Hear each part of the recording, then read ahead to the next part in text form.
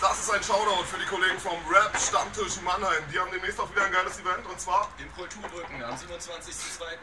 Im Jungbusch.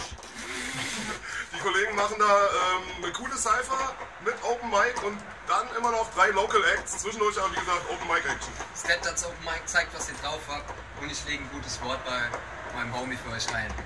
Wir sehen uns. Bis dann. Kommt vorbei.